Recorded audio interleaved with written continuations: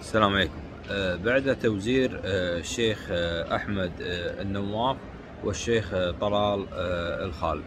كوزيرين لوزارة الداخلية وأيضا لوزارة الدفاع. بحسب الأنباء المتداولة أن الشيخان يعني مو محسوبين على أحمد الشيخ أحمد الفهد أو أبناء الشهيد لكن مقربين جدا من أبناء الشهيد.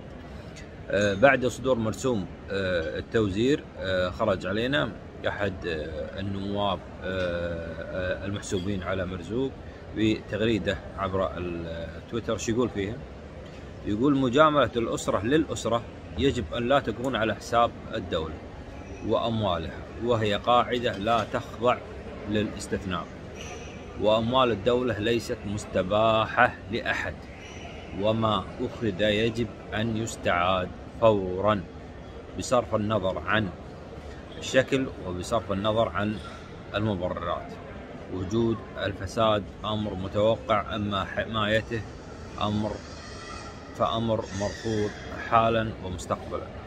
يعني سبحان الله عبيد الوسمي كأن الفساد آه، ما ظهر الفساد إلا مع توزير آه، الشيخ أحمد النواف والشيخ آه، صباح آه، خا- طلال الخالد.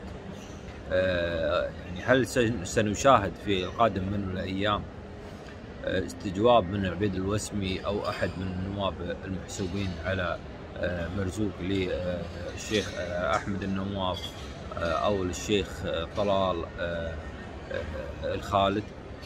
آه، من المتوقع أن يكون هنالك تصادم بين آه، بين آه، آه، مرزوق الغانم والنوابين المحسوب عليه محسوبين عليه وأيضا بين آه، النواب الآخرين اللي يتعاطفون أو محسوبين على آه، أبناء آه، الشهيد.